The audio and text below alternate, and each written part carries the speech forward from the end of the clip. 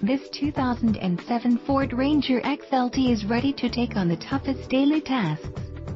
This Ranger has a strong 4.0-liter six-cylinder 12-valve engine and a smooth automatic transmission.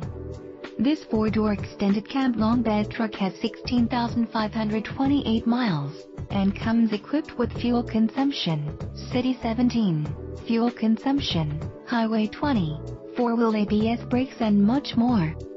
We would love to put you in the driver's seat of this Ranger. Please contact us for more information.